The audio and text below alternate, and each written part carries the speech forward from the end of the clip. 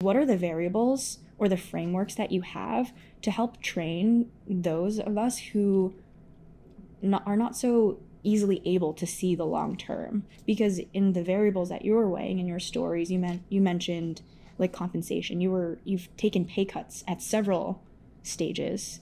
Three, So three times. Three major, times. Major pay cuts. major pay cuts. So what was the trade off that you saw and that you made in the moment that you're like, this is the right thing to do?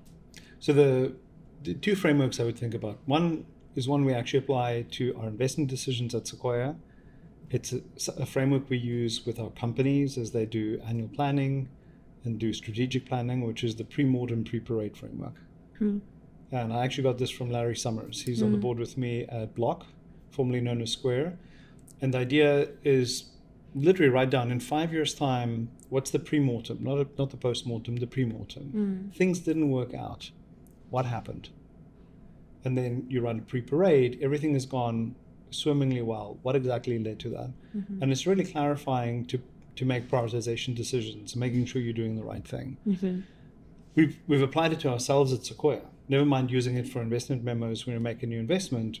We ourselves, a couple of years ago, did a 2030, Mm-hmm. and literally the, the, the one slide was autopsy 2030, Mm-hmm. patient Sequoia Capital.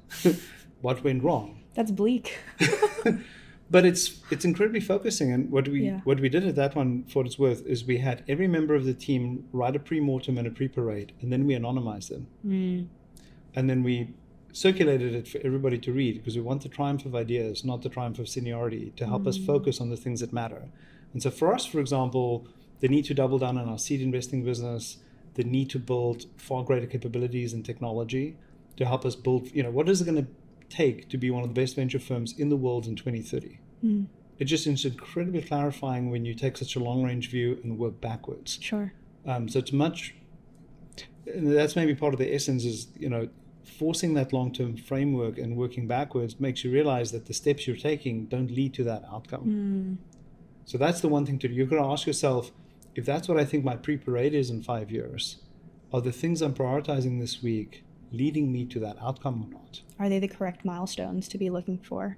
and is this going to lead to that path? So, so that's the one framework is for yourself. Think about a pre-parade, uh, pre-mortem. So, when I was thinking about joining Sequoia Capital, my choices were: I stay at PayPal. I'm the CFO. Meg Whitman has said that if I do well, maybe I can become the CEO of PayPal, a division of eBay, and that would lead to a, a series maybe that I.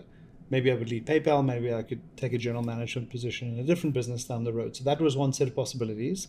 And the other one was at Sequoia, where wow, isn't it incredible to be able to invest in such a broad range of companies and technologies? Mm. I'd be the novice. I was the most junior person at Sequoia Capital. I was at the bottom of the totem pole, um, and I had to learn everything. Mhm. Super intimidating. But if that worked out, wouldn't it be super interesting? Mm.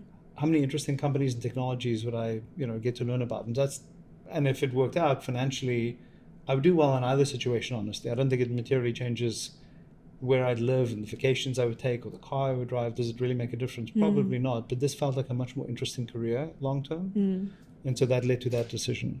So that's the one framework. Um, I'd say the other one is this idea of um, options. What leads to more options and what closes options? What opens doors and, and which decisions close doors? Mm.